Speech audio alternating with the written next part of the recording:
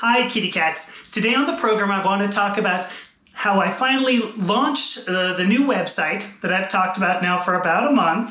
I also want to talk about this short video that I made that got a ton of views and uh, quite a few hate comments. And then finally, I want to talk about role playing. Probably not what you're thinking. All this and so much more on the Dingbat Diaries Weekly for the week of August 18th, 2023. I am Amethysta Herrick, your hostess for the program. All of my work is supported by subscribers to our website, Gender Identity Today. If you like this content, the website is linked in the show notes. It's also genderidentitytoday.com.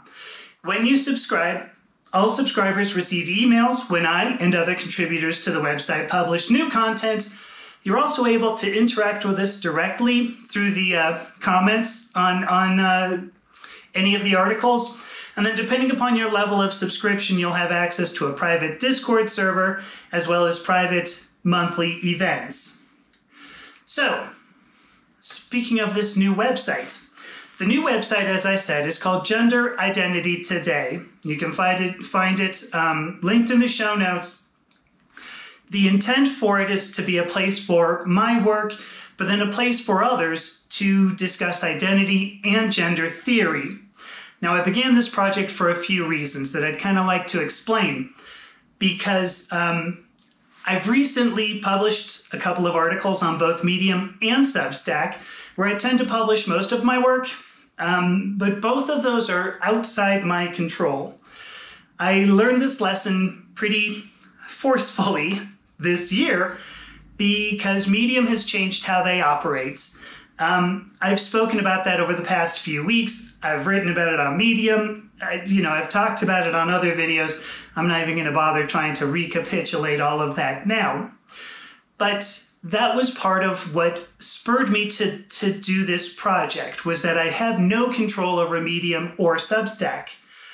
On a more personal level, neither platform really allows me to collaborate uh, with others very well. And kind of a bigger point, neither allows me to embed any source, which is a shame. That's a big limitation because there's a lot of content that I'd love to share that I cannot because neither platform does it very well. And finally, at the end of the day, I still end up having to promote myself if if medium is not promoting me particularly well i have to promote myself and i'm to and if i'm going to promote myself i would actually rather promote myself than medium or substack. I have loved both of those platforms and i don't intend to leave them completely but i will say this this is a this is a major uh, motivating factor for me. Uh, the the need to promote myself there are also a few professional professional reasons. My research in terms of gender theory, like I've discovered a discovered, I've found a, comp- a fairly big lack in terms of gender theory. Now I'm going to clarify this, okay, in a moment. Um, what I what I find out there there seems to be very little. And I think that contributes to a lack of understanding about identity and gender in the general public, which says to me, and I've observed this now, you know, relatively, um, it's been almost forcible here too to find that identity and gender are really kind of misunderstood.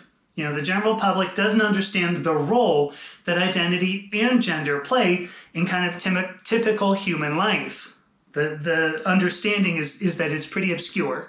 Um, or my my my uh, observation is that uh, typical humans are see see gender and identity as kind of you know opaque concepts, not really worth uh, investigating. But to be totally clear on this, when I say gender theory, I don't mean gender studies. Gender studies is very common, and I think for very good reasons going back to the the point that the role that identity and gender play in, in the typical human experience being obscure, when something is obscure, we want to study it. We should study it for that matter. It deserves to be studied because gender and identity are critical to mental health. And so we need to, to study these things. But when I say theory, in particular, the word theory, I use that from a scientist's kind of standpoint. Now, remember, my background is chemistry, all right? A theory in science is something that explains why something occurs, why an event occurs, not that it occurred. And, and that's an important distinction. There are, there are two primary theories that I've found so far in gender theory. The first is, is the, the kind of the current anti LGBTQ rhetoric, which is just that genetics is gender, genetics is sexuality, for that matter. This is something that's demonstrably, demonstrably false, like pretty obvious just to say, well, but look, I've got genetics and my gender and or sexuality is different from what, you know, is considered the normal cishet experience. But the other primary theory that I've found is that gender is performance. And so this is Judith Butler's work, which at least to me feels incomplete. I recognize I tread on a minefield when I say this. Um, and what I'd love is uh, some feedback. I certainly welcome the feedback on that.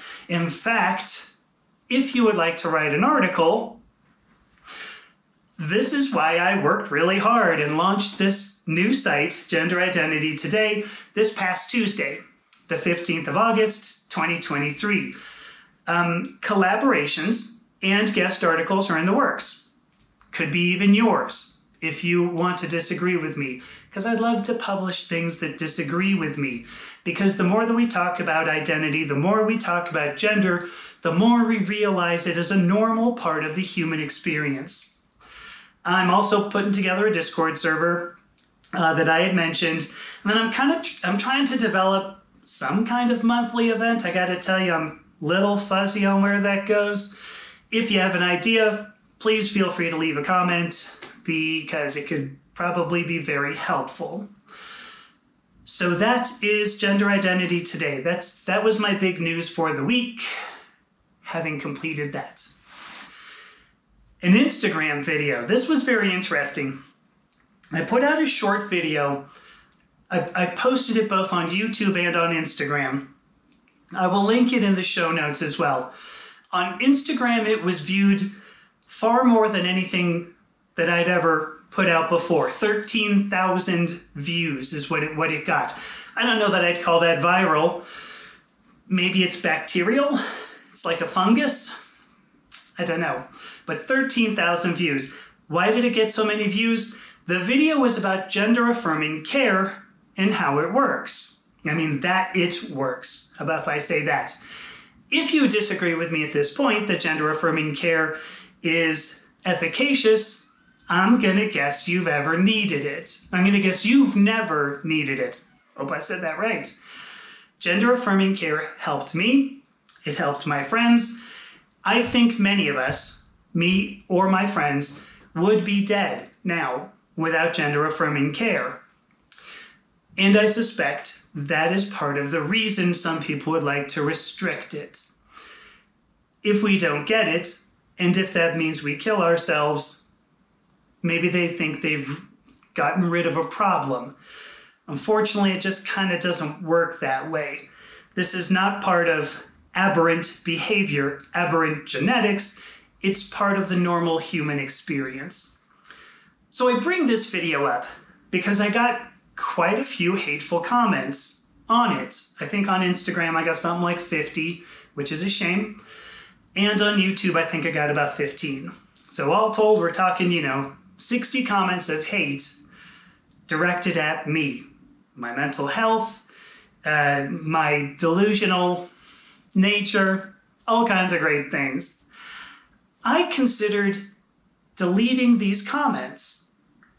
But as I read through them, which I did because I wanted to see if I could, you know, if I found uh, positive comments, which I did, incidentally. There were positive comments, and I wanted to scroll through them all because I wanted to highlight comments that were positive. You know, I wanted to, to like those, give them a little heart, maybe reply if, if uh, you know, there was a reason to. So looking through those comments, I was surprised to find they didn't hurt me. And and I I'm very surprised by that. I guess I'll just say I'm very surprised. I think if I had received these comments even a year ago, it would have been very hurtful, but they're not now. I have a theory on that, and actually, it kind of comes up in, in the next little segment that I'm going to talk about. But I considered deleting them, and since they didn't hurt, I thought, why bother? And then it struck me if I leave them up and I continue moving forward, I can show my peers that I have a lot of strength.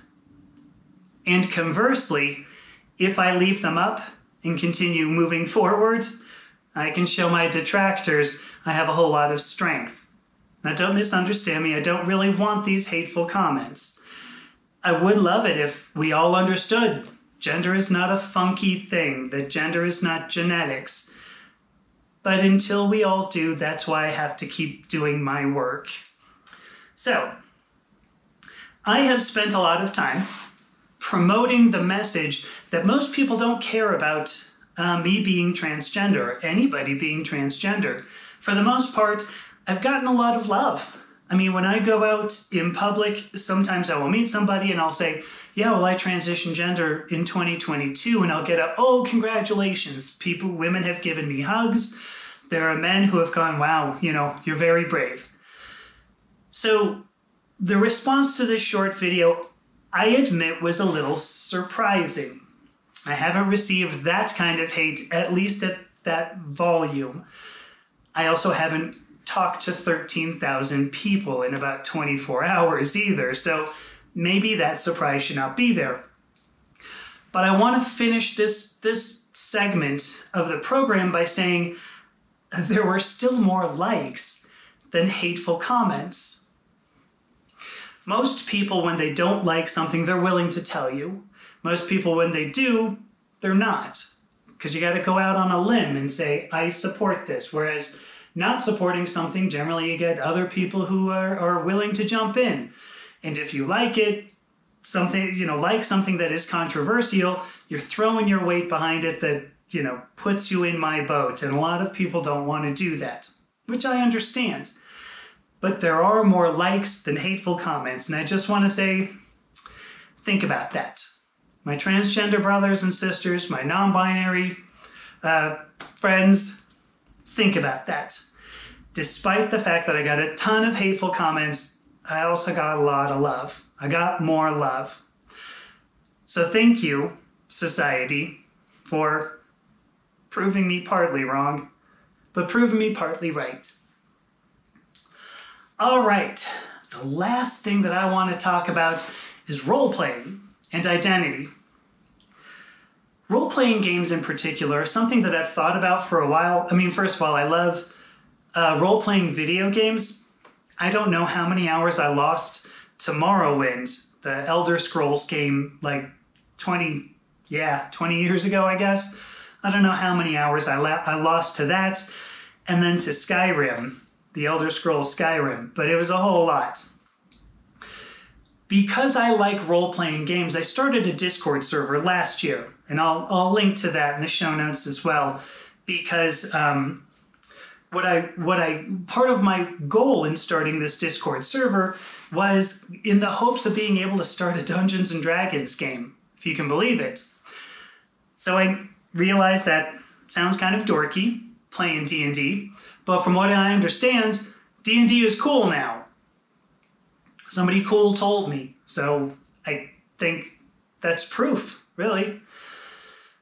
But I wanted to do it because I wanted to force myself to be seen by others. I wanted to, I mean, in particular, to be seen. I wanted to be on a video screen being seen by others. But it was also about working on my voice whether it was my feminine voice or just trying to trying to, to work other aspects of my vocal tract, you know, just to gain more control over it. So those were my purposes in starting a D&D game. There was a blog post that I read by a guy named Mike Shea. Um, he's a Mike Sly Flourish Shea. Maybe some of you know him.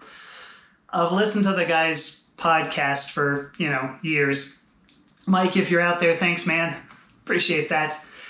he has a blog post titled "Playing D and D Can Save Your Life," and, and that's that's going to be linked in the show notes as well.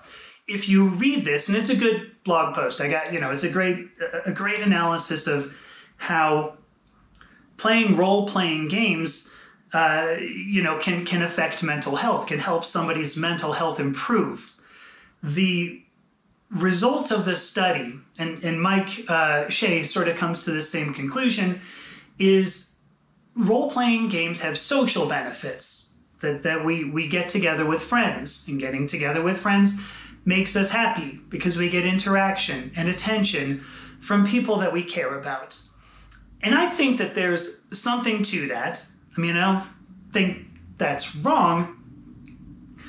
But when I think about it from the angle of my own work, identity, and especially gender, requires kind of like trying on. You need to go into a, a, a changing room and try on an identity or a gender to determine how well it works for you because gender, their identity in general, um, has aspects of presentation, aspects of thought and emotion, so cognition, and aspects of behavior.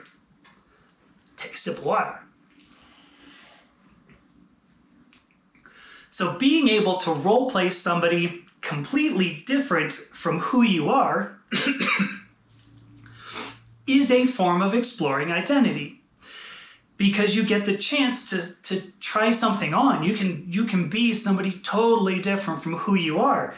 That could be even a different gender, a totally different presentation, a totally different height, totally different weight, whatever.